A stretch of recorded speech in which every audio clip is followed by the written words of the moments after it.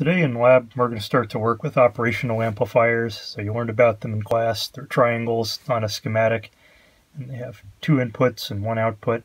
So they have two power supplies that may or may not be in the in the schematic diagram, depending on what you're working on. So a real op amp, one from the 1980s, looks like this little box right here, this gray box. It has eight legs on it. This is called an LF351 op amp. It was made by National Semiconductor which is now part of Texas Instruments. And once again, we're looking at our Electron Kinetics Eagle 2 amplifier. So I'll give you a quick tour of what's in the schematic. It's way past EK307 and it probably is daunting and we're certainly not going to test you on it. But most schematics usually go from left to right, then higher potentials are on the top of the page and lower potentials on the bottom of the page. So to orient you, the signal input is right here. That's where you plug in say your preamplifier or your music system to your amplifier. And then the output is over here on the right. Then there's a 50 volt power supply that's connected along this rail and a minus 50 volt power supply connected along this rail. Now down here, this represents the power supply. So wall plug, power switch, thermal cutouts, power transformer, bridge rectifier converts the AC to DC, two gigantic capacitors. Those were those really huge capacitors that looked like coffee cans. So this is an old one right here, or in that schematic right over there. And then there's a point right here that says plus 50 volts, and that's a symbolic connection to the plus 50 volts up here. It would have been really messy to draw wires going up there. So I know that if I see a plus 50 down there, and a plus 50 up here, those are electrically connected. Same thing with the negative 50 and the negative 50, those are electrically connected. So other important symbol is the ground symbol. It kind of looks like a segmented arrow. So that's my ground from the center of my transformer.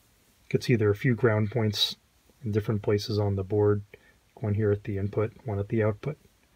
So those symbols represent ground. So we plug a signal into the input there's a 10k ohm resistor in parallel with the input. Goes through a 3.9k to our inverting input for op amp. So op amp has this kind of neat circuit right here that does a voltage level shifting. Then it goes into these two transistors. And these are like a bipolar pair of transistors. In other words, one is better at having current go in one direction and one has better at current going in the other direction past EK307, but so they complement each other. So when one's going up, the other one's going down, so to speak. And these invert the phase, like they multiply it by minus 1.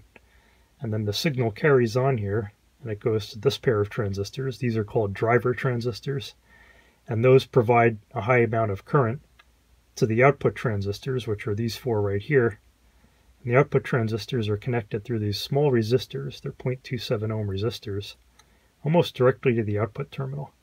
So notice there's a fuse in there. There's a 15 amp fuse between the transistors and the output, which is the speaker terminals, to protect the speakers against an amplifier failure.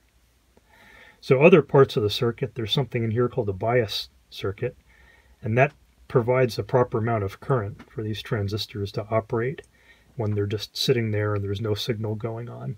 And the, the bias makes the amplifier perform better which is still past this class, but just something to note.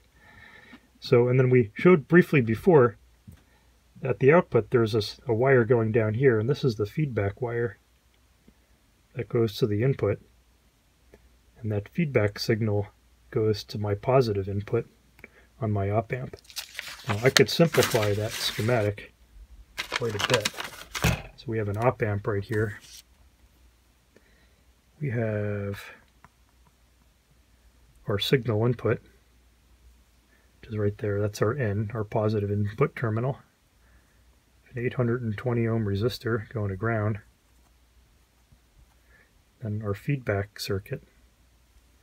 Could take out a lot of the other parts for now and just throw in a 20 kilo ohm circuit, a 20 kilo ohm resistor. And then we're going to draw it as a box, all those other stages of amplification meaning all these transistors over here, we're just going to put them in a box. And we're going to have a resistor there that goes to ground. inside the box. And we want to put the sign on it. We'll call that VRX. And on the other side, we have a dependent voltage source. I think I'm drawing the wrong symbol for that, but it is a dependent voltage source. And then an output. So this resistor here is RTH of the circuit. We're going to say that's approximately 0.1 ohms. And this one right here we'll call 19 kilo ohms. It's this resistor right here. And then the gain of this is going to actually be negative, and that's significant. I'm going to just draw it out here. So the, the voltage on that dependent source is going to be K, say minus K, actually negative K, times VRX. This is the output of our amplifier over there. Then our feedback loop connects back here. So this is a very simple diagram. And this right here, I'm jumping over that wire, and that's my negative output terminal, my speakers over there. Now, if we look really closely at the circuit, and it's a simple feedback circuit, it's actually a non-inverting amplifier. So I could simplify that down a little bit more. We could really lump all this stuff into this op amp right there because they're in what we call a cascade. One follows the other one. It has a certain gain and it's negating. Now, an ideal op amp has infinite gain inside it, right? We learned that from class. And the LF351, I think, has a gain of like 10,000 or something like that. So it's like a gain of 10,000 in this op amp, we'll just say for easy math. This one has a gain of 19, and that's kind of a guess. So this K right here equals 19. So we could put those together and we could see clearly that this is dominating. So we could kind of fold this whole mess right here into that op amp. And then if we wanted to analyze the circuit, and here we could switch the signs around a little bit. It would go, it would notice I switched my positive and negative signs on my op amp.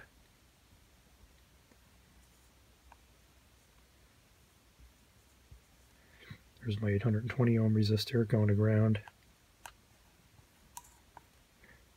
My 20k feedback resistor and my input right there. That's the in and that's the out. And we can solve that. You learned how to solve that in class. Right, that's the non-inverting op-amp equation, where you're just going to have, see if I could do this right, 1 plus 20k over 800 and, or 0.82k just for easy math right there. So that's going to be like about like 24 or something like that. So that's going to be about a gain of about 25.